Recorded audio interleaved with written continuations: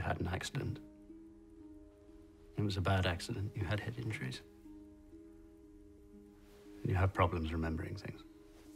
What things? What? Everything. You store up information for a day. When you wake up in the morning, it's all gone. You're back to your early 20s.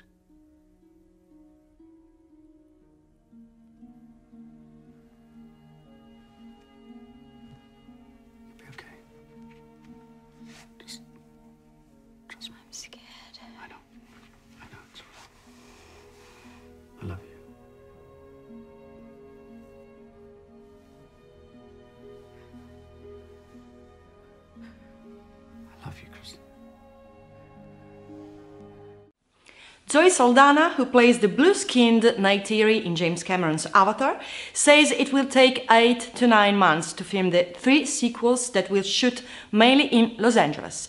Set to also feature the return of cast members Sam Worthington, Stephen Lang and Sigourney Weaver, Avatar 2 is scheduled for a December 2016 release, which will be followed by Avatar 3 in December of 2017 and Avatar 4 in 2018. That's it for today. Subscribe to keep up to date on all the latest releases. Bye bye.